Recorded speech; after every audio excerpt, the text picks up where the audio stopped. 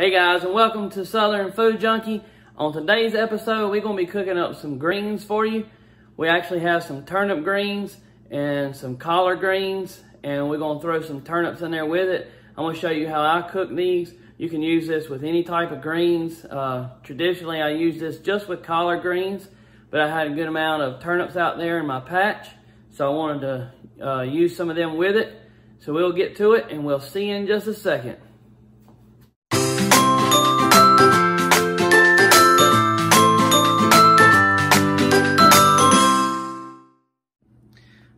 Guys, the first thing you're gonna need is your greens. These are our turnip greens. I actually gotta wash the collard greens. They're over there in the sink. You're gonna need one large onion, one bell pepper. Of course, you're gonna need your turnips if you want turnips in there. We have a few uh, larger ones and some few uh, uh, smaller ones. Really, all you need is about three of them. We're gonna use some bacon. I'm gonna use a half of this pack, a little bit of brown sugar, apple cider vinegar, and some chicken broth. Let's get to it. Okay, so the first thing we're gonna do is tear these off from the stem. This is the way I do it. I grab the stem and I just pull it like that. And I separate, and if I got a smaller one, I just peel them off like this. Got a bigger one, and just take it and just do it just like that. I call it skinning the cattail. Just like that. Just like that right there. These are my collards. On the uh, mustard greens, you can leave those, you can leave those in there. So now we got these off. We're gonna take these stems and put these in our compost. I'm gonna go ahead and do these.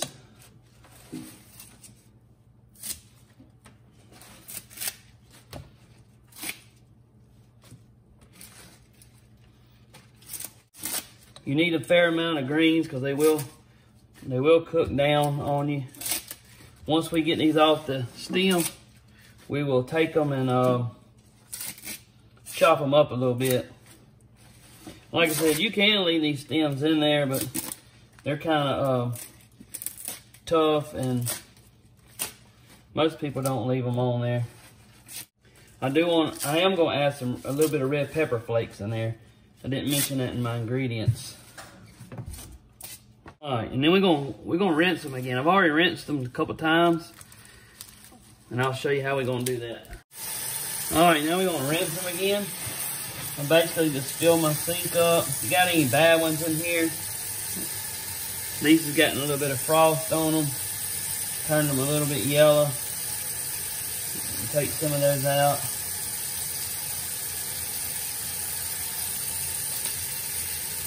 And at this point, we're washing them. You can come in here and just shred them up more if you want to. Or you can chop them. This is mostly how I do them. I just take these big bunch and I just pull them apart like that. Chop them up in smaller pieces. So much quicker than chopping them. But you can take them and chop them. Just roll them up like this and take your knife and chop them.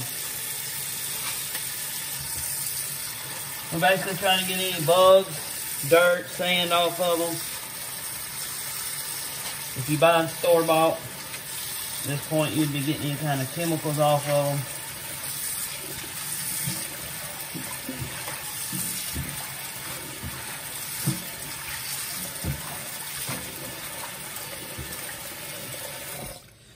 Then I just take them to one side and I just kind of crack the sink. Be nice if I had like a little strainer in here. All right, so once you get done with that, you can leave these in here until a little while later. We're gonna move on to the next part. Okay, the next thing we're gonna do is prepare our turnips. These have already been washed. I'm gonna slice all the tops off here and uh, we'll peel these. All right. Now we're just gonna peel.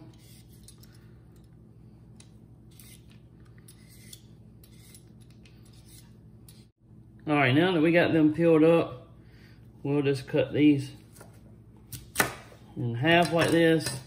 Then we're gonna set them in our little chopper here. This will give us nice little uniform chunks. All right, we're done, done with our turnips. Here you can see our little dices. We're setting these to the side for once we get our stock put together. Next thing we're gonna do is take our bell pepper and uh, we're gonna uh, slice it up.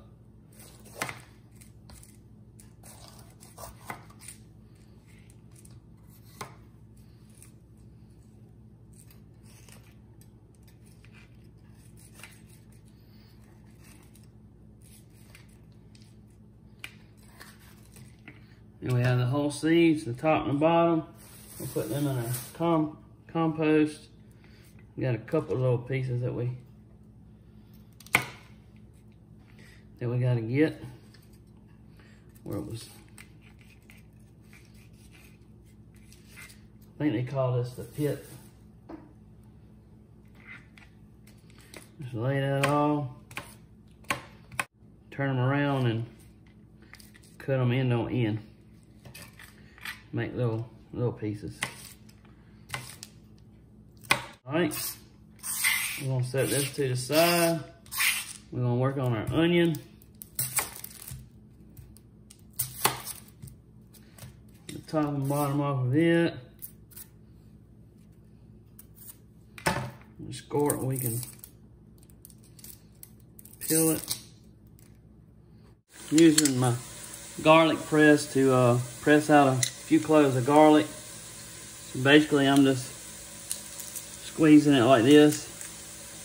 You can see it kind of comes out the bottom there.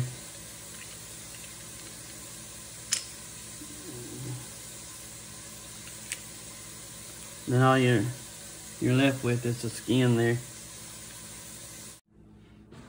All right, we're gonna chop our onion up.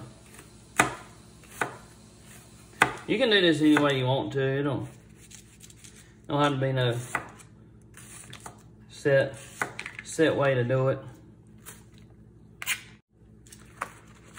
Let's set this to the side. Let's grab another cutting mat. Using my garlic press to uh, press out a few cloves of garlic. So basically, I'm just squeezing it like this. You can see it kind of comes out the bottom there.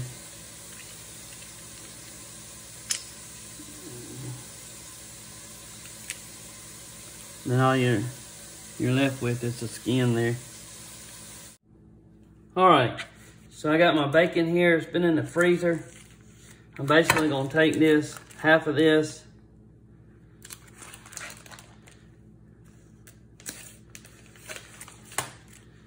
This other half I'll set to the side. I'm not going to use it. We'll use it for breakfast or something else. So we're going to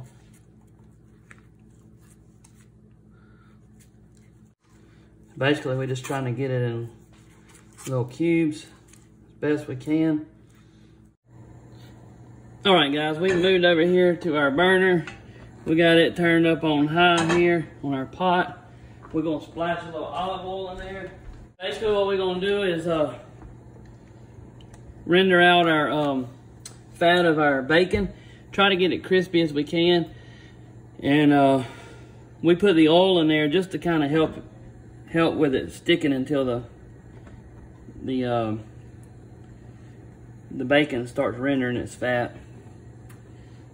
All right.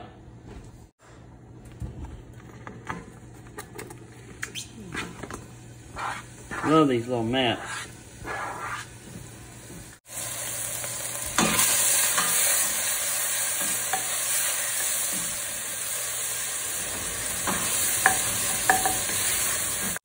Continuing to let this cook a little bit. It's Been in here about three minutes now.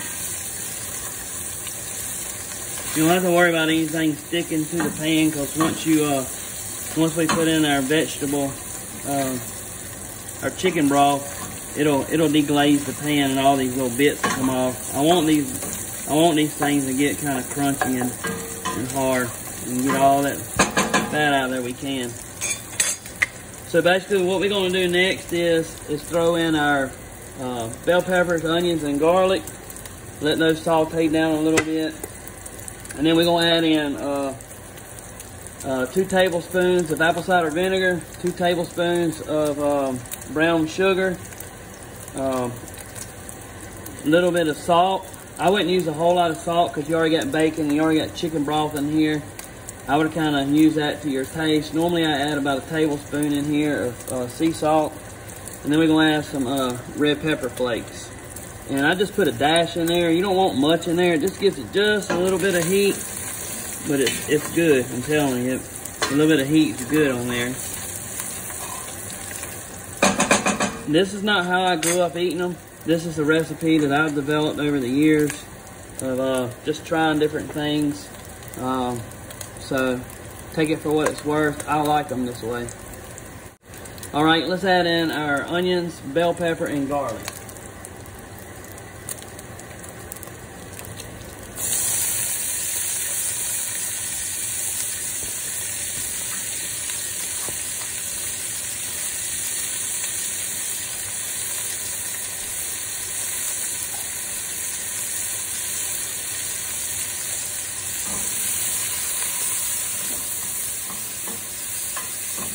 Still on high heat. Wet these onions down. Some people may do this different too. I like to add my liquid into the pot and then put my greens into the liquid. I like to get the liquid hot first. That causes the greens to wither down quickly. All right, let's add in our chicken stock. Still got, still got it on high heat. We're using one box, 32 ounces of chicken stock.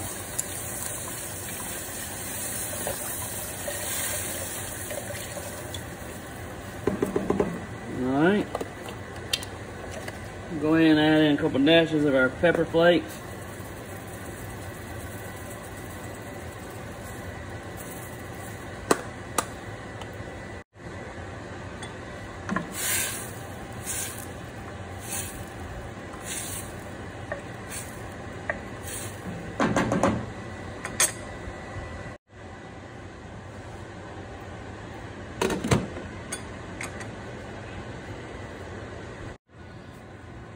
All right, guys, it's been roughly an hour since we put our greens on. You can see they're starting to cook down really, really nice. These are for Thanksgiving tomorrow. So uh, about another hour or so, these will probably be pretty good. They're getting really nice and tender dark in color. See that? That's what we want.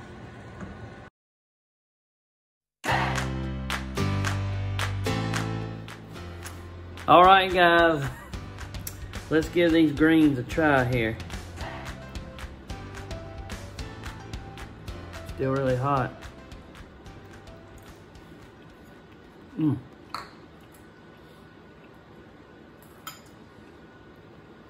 Really good. Got a real nice savory flavor to them. You taste just a little bit of the heat from that red pepper flakes. You got the bacon smoky flavor in there. And uh, let's get one of these turnips. Mmm, tender. Almost reminds you of a, a potato, really.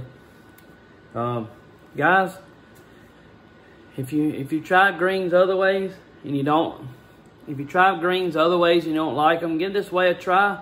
You may like it.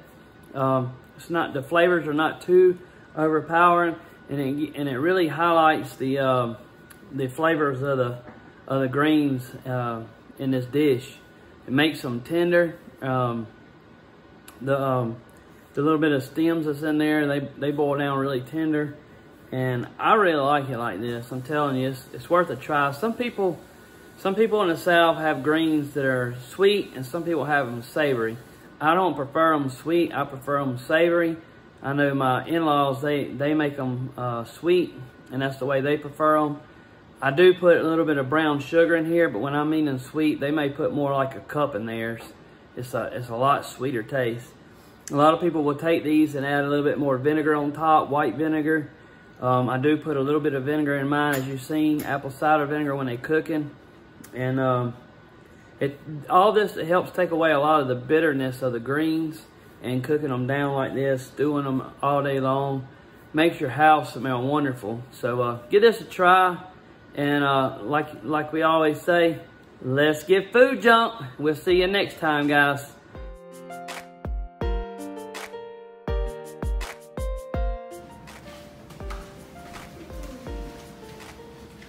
All right, guys, if you like videos like this, try clicking on one of these videos right here. I'm sure you'll like it too. Don't forget, subscribe to our channel. That way when we release new videos, you will be notified. You can click the little bell notification and it'll send you a notification on your phone or your computer that we got a new video out. Thank you.